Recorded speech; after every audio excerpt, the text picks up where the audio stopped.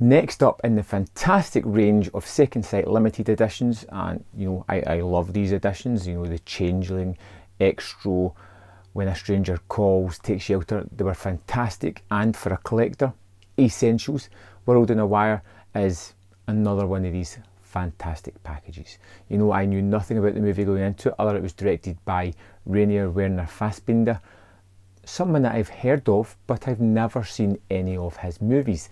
This was a made for TV two parter, you know, both parts running about an hour and 45 minutes each. And this is something special. This is something that has obviously influenced a lot of filmmakers uh, since it was released in 1973, and it is still amazing today. Going to it as someone that's never heard of it or seen it, I love this thing. The basic story is all about our main character, Fred Stiller, who works for this company. Suddenly, his boss just drops dead one day. He has this co worker who mysteriously vanishes, and uh, everybody says that they can't remember him, or at least pretend that they can't remember him, um, and it seems as if there is a conspiracy of sorts going on. Fred's company deals with this program they've created called Simulacron, which is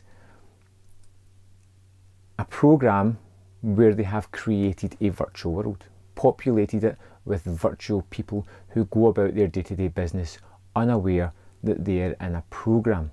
And the idea behind this is that they'll be able to tell through what these people do what kind of raw materials they will need going into the future so they can basically make sure we've got enough or do something nefarious like start to play the stock markets and gain money out of it. It is a state run experiment and that's about all I want to tell you. Uh, there's certain things about this that I feel needs to be discovered.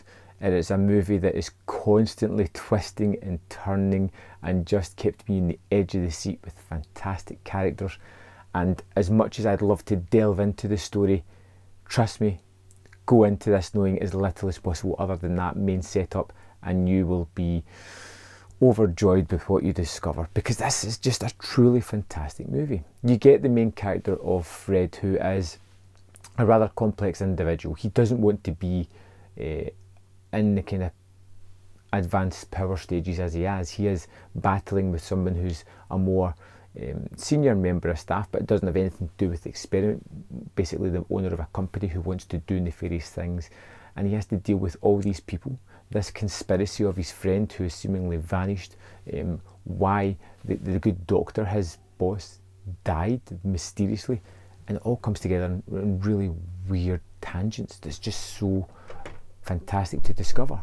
It's all about the psychological effect that it has on Fred, the feel that he is starting to lose control of both the company and his sanity. He's not sure uh, what's reality, what's not, and, and his trips into this world, which is very much Matrix like. You know, on a phone, they, they, they, plug into a program, they go down into the world, they use a telephone to get back out of it. They speak with people in there that don't really know they're in a program, and it becomes a real mind trip. One of the most fascinating things about this movie is the way that it is filmed. The camera work is simply immense and so visual and so very much telling the story in, in, an unusual form. And to see the way the camera moves or focuses in, there'll be groups of people talking, and suddenly it'll just focus in by everybody else onto one character, and it does these really fascinating, really interesting choices that just elevate this above anything else in a similar sort of fashion. It is something that is really terrific and really well done. This is a package that you have to pick up.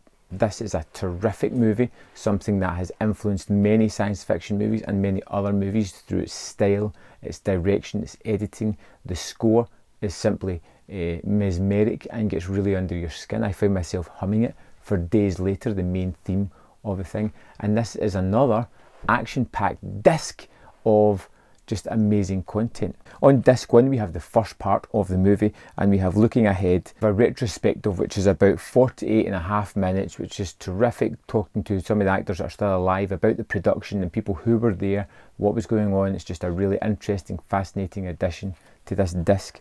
We have Observing Fassbinder, which is just under eight minutes, and it's a tribute to a photographer Peter uh, Gone. We have an on-set featurette, which is about four minutes, just a little bit more than that, uh, and that's all the content on disc one. Uh, on disc two, we have the second part of the movie. We have no strings attached. It's someone talking about Fassbinder It's just under 30 minutes. We have the original TV recap, which is just under five minutes as well. And then probably my favourite is the simulation argument, which is 22 and a half minutes and is basically this professor um, discussing the ramifications or the idea behind this Simulacron program. You know, could it be possible? Is that something that's plausible or could we be stuck in it right now? This uh, is a dense film. It's something that I'm going to go back to again and again. It is supposed to be a two-parter, but it finishes midway through one scene and begins there. It Could be viewed as, as one movie, and I think it's something I'd possibly go to next time I was watching it.